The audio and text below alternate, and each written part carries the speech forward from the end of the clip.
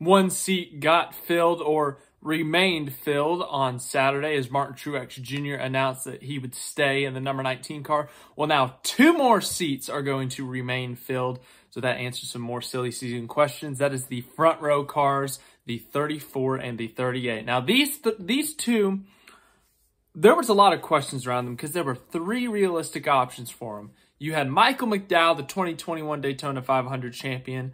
Todd Gilliland, who's had an outstanding year, and Truck Series champion Zane Smith, all under front row racing. They are all racing for them right now. Of course, Zane Smith still in the Truck Series.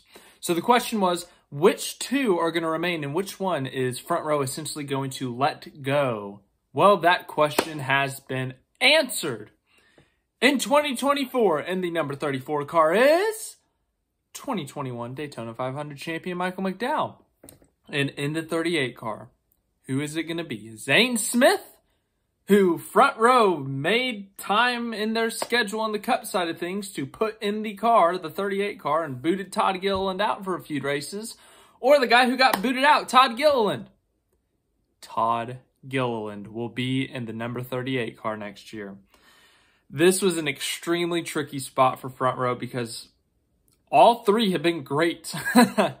Uh, Michael McDowell is having a great year. Todd Gilliland is having a great year. Zane Smith, um, while not in the Cup Series yet, will be in the Cup Series soon. And this honestly might answer a question about him, but we see Todd Gilliland and Michael McDowell back.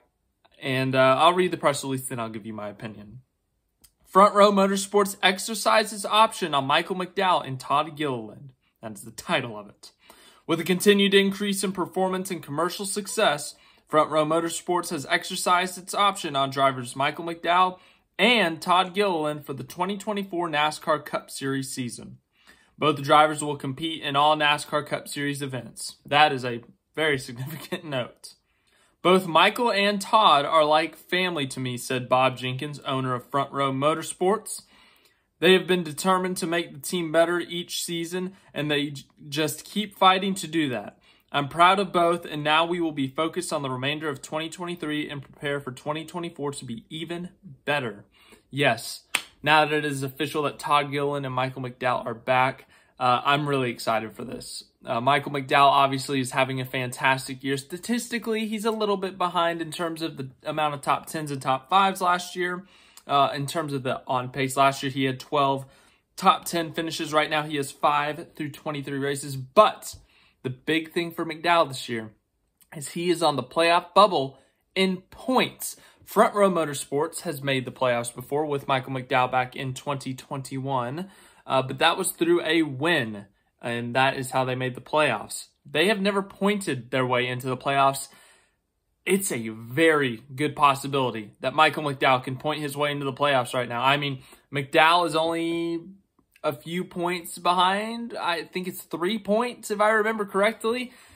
And we got two road courses and a super speedway coming up. McDowell is a great road course racer. He's gotten multiple top fives at road courses, top tens. Uh, and then, of course, the super speedway, his one career win is at a super speedway, and it's at this specific speed uh, super speedway, Daytona. So while McDowell is currently out, it's very possible he could point his way in. And the fact that they're even in this position is extremely impressive.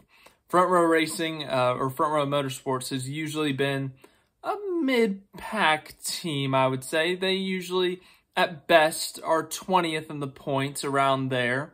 But for the most part, they've been, you know, kind of 23rd to 30th in points, depending on the year. So to see this step up, and especially with a first year crew chief for Michael McDowell after Blake Harris left, for them to step in and perform excellently, consistently. I mean, McDowell's average finish this year, 18.7. Last year was a little bit better. It was a 16.7, but still, the fact that he's got an opportunity to make the playoffs, I think that's huge for Michael McDowell to be in that position. And I don't think it was a question unless SHR offered McDowell the 10 or something. I don't think there was any chance that McDowell uh, or front row would let McDowell walk. So I think McDowell for sure was a lock, but it was the other car that front row had to make a decision on. And Todd Gilliland was what they decided. I like Todd Gilliland.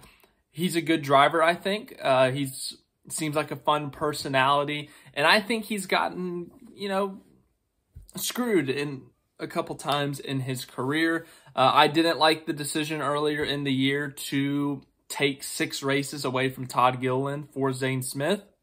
And I think I've said this multiple times.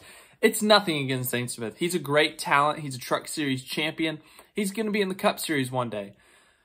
But Todd Gilliland, he, he didn't do anything wrong. Like, just, they ran the third car in the Daytona 500. You can't do that third car, six race. I mean, I get there's financial stuff, but, you know, I just thought Todd Gilliland kind of got screwed in that situation. But Todd Gilliland has been proving front row wrong, or I guess proving front row wrong, maybe, or proving them right.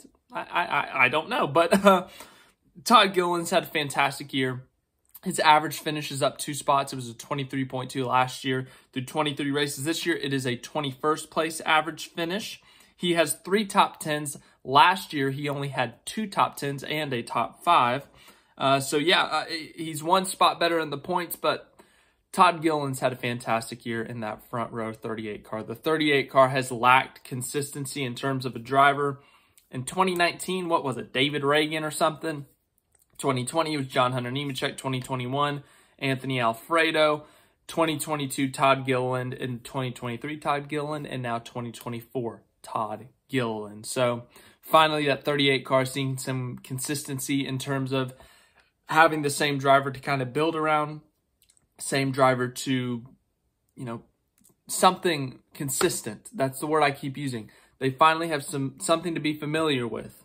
Uh, so I think that's a really good choice by them. As I said, Todd Gillen's been great this year. Uh, he's been very consistent this year. Uh, it's been impressive. Uh, I think he's done great this year. There's there's really not much else to say uh, other than he's been great this year. But the guy who got left out of the lineup is Zane Smith. So front row also said uh, on top of you know exercising their option for McDowell, they also said we continue discussions with Zane Smith as he also explores other opportunities.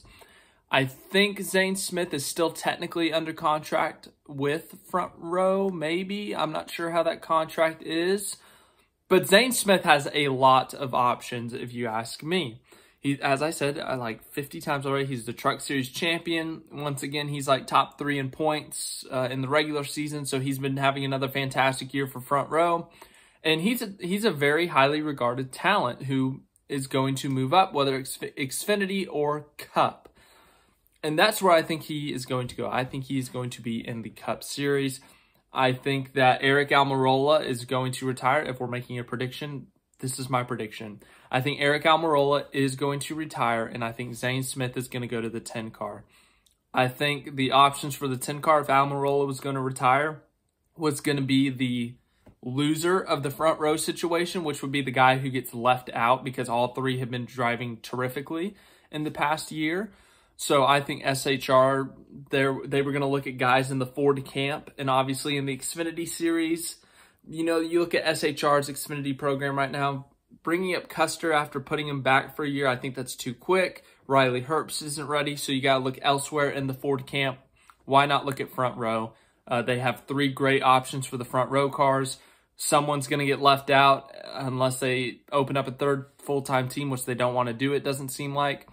And I think the guy who gets left out is going to go to SHR. And it's not even left out. I'm saying left out as if it's a bad thing. Maybe SHR was saying like, hey, we will take Zane, pay a buyout on his contract so you guys can keep your driver lineup. Or they said they somehow discussed it maybe. But I think that Zane Smith, while yes, he's not getting get a full-time ride with front row in 2024, I think things will still work out for Zane Smith. Um, I think he will be in the 10 car if I had to guess. I really do think Eric Almirola is actually going to retire this time. If Zane Smith can bring some sponsorship over there. Uh, Tony Stewart, I know he said he doesn't want to put a rich kid in the car or something, but uh, sponsorship does run this thing. Uh, but Zane Smith, he would not just be a rich kid getting in that car. He does have a lot of talent. Uh, he's a very good race car driver, and I think SHR to have a young driver like that in their car would be big for them. But the big news today, Front Row Motorsports has confirmed that their driver lineup in 2024 will be Michael McDowell and Todd Gilliland. I'm very excited for that. I love that decision by them. and we will see what ends up happening with Zane Smith. Uh, got a video later today coming out if you missed the announcement in the post. I do a series every year where we go through all 16 playoff drivers and I give a case for why they are going to win the championship. We're going to start with Martin Truex Jr. today. Tomorrow will be Denny Hamlin. Friday will be William Byron. Then we will start it back up again next week. Uh, keep up with the community posts. I will update you there. So uh, thank you guys for watching this video. I uh, hope you enjoyed. Like, subscribe, all that stuff. And I'll see you in the next video, whether it's uh, Martin Truex Jr.'s championship case or if there's any more news today.